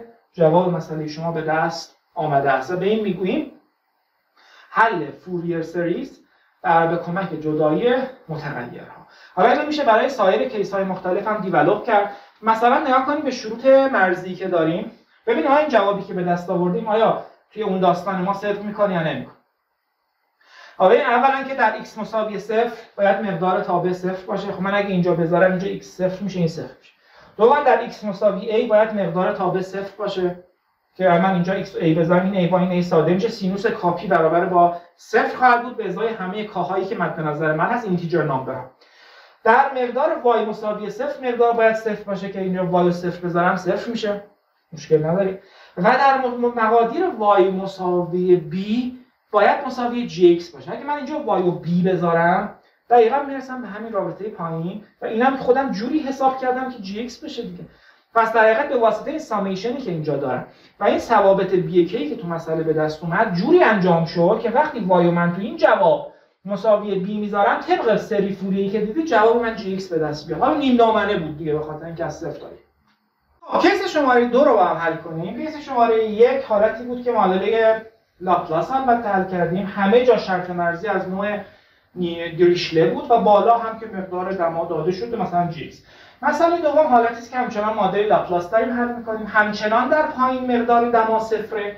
همچنان در بالا مقدار تابع چیزی مثل HX اینجا A هست. در واقع U X و B مساوی HX این U X و صفر مساوی صفر اما شروط مرزی جانبی چپ و راست از نوع Neumann ه. و درجه دو. و مشتق تابع برابر با صفر یو ایکس در صفر و وای مساوی صفر یو ایکس در ای و وای مساوی صفر. خب یه جور مواقع ببینید تفاوتش کجاست. همین تفاوتش همین دو سه خط. یعنی این اسکلت بندی کلی رو باید حفظ کنید ولی این تفاوت ها رو اعمال کنید و مثل به لحاظ فیزیکی هم میشه یک مستطیلی رو بگیرید که دو سمتش عایق شده باشه. یعنی شیب دما صفر یعنی عایقه اینزولیت شده باشه و مثلا آیقش بکنید کاملا فقط بالا دماش یه چیزی هست پایین دماش صفر از دو طرف آیقه بهش زمان بدید این بگذره پس از گذشت زمان کافی در حالت پایا توضیح دما در نقاط مختلف این چطوری به دست خواهد اومد. که ما در نهایت سری سولوشن به دست میاریم دیگه. اونو بدید به کامپیوتر رسم بکنه اصلا به شما می‌تونید نشون بده به شما که دمای نقاط مختلف مثلا این چه من اچ رو یه تابع اینجوری بدید. و این وسط باید گرمتر باشه. و یه تابع اینجوری تر باید این ور باید گرمتر از این ور باشه. هر چقدر به سمت پایین میری دما باید سرد بشه و الاخر خب مرحله سه تا مرحله داشت. یک جدایی متغیرها. همچنان من تابع یو رو به صورت حاصل ضرب دو چیز می‌نویسم. معادلا همون معادل است. و اینها رو جدا میشه و لاندا که مقادیر ویژه هستن قرار داده میشه و این دوتا معادله دیفرانسیل هم مجددا به دست میاد. چیز جدیدی من ندارم اینجا. چون معادله عوض نشد. و این فقط این معادله رو وقتی می‌خوام حل کنم رو ایکس دیگه. در ایکس سمت راست و چپ من خود تابع صفر بود من اینجا نوشتم. اینجا فرق می‌کنه این دفعه مشتق تابع اف باید صفر باشه. چون مشتق تابع عوض میشه پس eigenfunction ها. مثلا من دستخوش تغییر خواهد شد خب بیان نگاه کنم میگن به جای اینکه f صفر صفر باشه f پریم صفر صفره و f پریم a مساوی صفر. خب این معادله general solution ش که تغییر نمی‌کنه. general solution ش باز هم برای لاندای مثبت و منفی به جواب و مثبت و لاندای صفر. دو تا ضرب در می‌خوره. برای لاندای منفی جواب داره به صورت آ کوسینوس آلفا ایکس و علاوه بی سینوس آلفا ایکس خواهد شد. حالا من باید شرط مرزی ها مشتقه از طرفین اگه مشتق بگیرم این کوسینوس میشه از نوع تابع سینوس این سینوس میشه از جنس تابع کوسینوس حالا اگه بخوام بگم در صفر مساوی صفره باید اونی که از جنس کوسینوس تو مشتقه از بین بره. چون اینجا این سینوس میشه کوسینوس این بی باید صفر باشه. پس در حالتی که مشتقات صفر بشه این جمله آ کوسینوس آلفا ایکس اتفاقا تو مسئله میمونه و eigenfunction های من تابع کوسینوسی خواهد بود. اینجا eigenfunction من سینوسیه اگه مشتق این قرار باشه در دو سمت صفر باشه این دومی باید صفر بشه و کوسینوس میمونه. حالا آلفا مقدارش چیه؟ خب من از این اگه مشتق بگیرم از جنس سینوس میشه دیگه. سینوس مساوی صفر باشه اتفاقا همین eigenfunction eigenvalue هم اتفاقا همین به دست میاد. همین کا پی به دست میاد. و آلفای اگه کا پی باشه اگه از این مشتق بگیرم خواهید دید که در سمت دوم یعنی در اینجا مقدار مشتق این صفره. و در سمت چپ هم که صفره پس تنها تفاوتی که ایجاد میشه که مقدار تابع f که به صورت eigenfunction سینوس کا پی ای ام ایکس بود میشه کوسینوس کا پی ای ام ایکس eigenfunction عوض میشه. خب ادامه جی ایکس هم عوض نمیشه چون شرط مرزی بالا و پایین روی وای عوض نشده. همین تابع جی که به صورت بی پریم سینوس هیپربولیک کا پی ای ام وای هست. سینوس هیپربولیک آلفا وای هم همچنان در اینجا برقرار هست. حالا می‌رسم به قدم نهایی. که اعمال شرط non-homogeneous هست. می‌گویم این دوتا رو اگر به هم ضرب بکنم میشه آکا کوسینوس کا پی ای ام ایکس سینوس هیپربولیک کا پی ای ام وای حالا این باید مساوی بشه با تابع HX باید بشه HX وقتی که مقدار y برابر با b است. پس من در این رابطه y اینجا دارم من اینو بذارم b باید بشه HX دوباره می‌رسیم به همین جایگاهی که اینجا هستید دقت کنید این تابع یه ضریبی از سینوس هیپربولیک سینوس اینجا یه ضریبی از سینوس هیپربولیک کوسینوس. و تنها فرقی که این شرط مرزی از نوع Neumann ایجاد کرد این بود که eigenfunction های منو کرد کوسینوس حالا بازم از اینجا به بعد یه فرق دیگه داره. حالا من می‌خوام اچ رو با این تخمین بزنم. پاسخ اینه که هر تابع اچ ایکسی باید باشه. اگه ایکس اینجاست دیگه اگه کوسینوسی باشه خب ساده است. برای اینکه حالت کلی حل کنم یه سامیشن می‌ذارم اینجا. کار مساویه صفر تا نهایت. و به کمک فوریر سریز از نوع کوسینوسی نیم دامنه کوسینوسی مسئله رو حل می‌کنم. و طبیعتا یه سامیشن هم اینجا باید بذارم. کا مساوی صفر تا نهایت. که باید تاکید کردم که این کا مساوی صفر رو می‌تونید بذارید کا مساوی یک. و یک مقدار ثابت اینجا قرار بدید. اینجا کا مساوی یک فرقی نمی‌کنه من اینو کار اینجا الان در مقدارش صفر بذارم این میشه یک و یک ضریبی اونجا بغلش قرار داده میشه. و چجوری حالا این مقادیر ضریب رو به دست بیارم که در این یک هایی که اینجا هست؟ به علاوه سینوسی که دارم. این نماینده همون ضرایبی است که بحث کردم که چطوری می‌توانیم در حقیقت این وکتورها رو به این صورت به دست بیاریم. این هم در حقیقت ضرایبی که اینجا می‌بینید آیه در یعنی کوسینوس رو بذارید کنار. بعد ضرایب بسری فوریه تابع HX هستن از نوع کوسینوسی. مشابه قبل من تابع HX هم بین 0 تا A تعریف شده. و از طرف دیگه خب من تابعم باید کوسینوسی باشه بستش. این دو تا مشکل با هم حل میشه. به گونه ای که من میام تابع HX رو به گونه ای بست میدم که سری فوریش صرفا کوسینوسی باشه. شما برمیگردید اینجا نگاه می‌کنید در چه حالت ضرایب سینوس هست میشن؟ بی کا بی ام وقتی که even باشه. یعنی تابع زوج باشه. پس من تابع اچ را به صورت زوج بسط خواهم داد نسبت به مبدأ و در آن حالت ضرایب سینوس از بازی هست میشه و به هدف خودم که بسط کوسینوسی هست می‌رسه. که اگر این کارو بکنید خب وقتی تابع f به صورت زوج باشه انتگرال منفی تا ال تا الش میشه دو برابر صفر تا ال پس من می‌تونم یه دو بذارم بغلش اینجا یه دو بذارم که با اون دو ساده بشه بشه یک ال ام صفر تا ال اف ایکس میشه ای صفر. و همچنین انتگرال یک ال ام انتگرال منفی ال تا ال اف ایکس کوسینوس میشه دو ال ام از صفر تا ال به میگم بسط نیم دامنه کوسینوسی سری فوریه تابع اف شبیه همین پایین نیست این دو ای ام اینجا هم دقیقا دو ای ام میشه ولی داخلش سینوس به تبدیل میشه به کوسینوس و البته ای صفری هم وارد بازی خواهد شد. حالا میشه اینجا چک کرد که آیا شروط مرزی مسئله ارضا شده یا نشد اگر در وای مساوی صفر من داخل این رابطه جابجایی کنم اینجا سینوس هیپربولیک صفر صفر بشه پس این پایین رو ارضا کرد. بعد اگه وای مساوی بی بذارم که اینا میشه رابطه پایین و من خودم این ضرایب رو به کمک بسط فوریه نیم دامنه کوسینوسی جوری تعیین کردم که این مساوی اچ بشود. پس شرط مرزی بالا رو هم ارضا کرد. حالا در دو سمت چک کنیم این مشتق صفر میشه یا نه؟ خب در وقتی که x مساوی صفر هست باید u x صفر باشه. از طرفین این رابطه نسبت به x مشتق بگیرید. اینا که کدوم x ندارن فقط x اینجا دارن. تابع کوسینوس مبدل به سینوس میشه. سینوس k پی x a اُم حالا x مساوی صفر بذارم می‌بینید که صفر باشه همچنین در x مساوی a هم باید صفر باشه. که اگر من مجددا مشتق بگیرم میشه سینوس k پی. X a اُم x اگه a بذارم a با a ساده میشه میشه سینوس k پی. و باز هم صفر خواهد پس هم شروط مرزی رو ارضا کرد و هم داخل معادله صدق کرد. پس در نهایت کاری که خواهید کرد اول سری فوریه hx رو به دست میارید. یا انتگرال به هر صورت مقدار hx رو می‌ذارید اینجا. حالا یا از نوع سینوسی تو قسمت قبل یا از نوع کوسینوسی در این حالت. و این دوتا به دست میاد. شما a رو باید بذارید تو رابطه بالا. اون چیزی که به عنوان سری فوریه hx به دست آوردید رو تقسیم می‌کنید به سینوس هیپربولیک k پی b a اُم این b a اُم هست. و بعد اون رو داخل رابطه بالا جاگذاری می‌کنید. کوسینوس کاپی ایکس ایوم سینوس کاپی وای ایوم پس در مخرجش یه از جنس سینوس هیپربولیک k پی b a اُم هم ظاهر برای به لازم محاسباتی تکلیف ما روشنه. شما بلد باشید چگونه این انتگرال رو بگیرید؟ سری فوریه ضرایب سری فوریه سینوسی. یا کوسینوسی در اینجا رو به دست بیارید و کافی به این موجود اینجا تقسیم کنید. ای کار بشه ای کار بذارید تو رابطه بالا و جواب رو پرزنت بکنید به عنوان جواب نهایی.